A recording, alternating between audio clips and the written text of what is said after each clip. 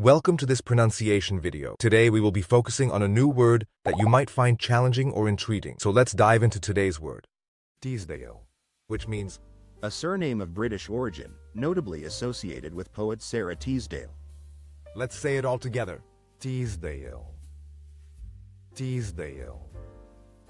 Teasdale. One more time. Teasdale. Teasdale. Teasdale. Thank you for joining us on this adventure in pronunciation. Remember, language is a journey, not a destination. Keep exploring, experimenting, and expanding your linguistic horizons. We'll see you next time.